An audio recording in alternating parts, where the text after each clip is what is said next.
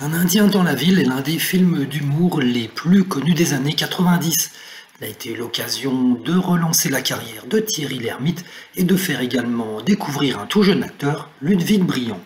Ce nom est moins connu que le personnage qu'il a interprété, Mimi Siku, ce jeune Indien qui débarque d'Amazonie pour vivre à Paris. Mais qu'est devenu l'acteur qui a joué Mimi Siku? A-t-il poursuivi dans le cinéma?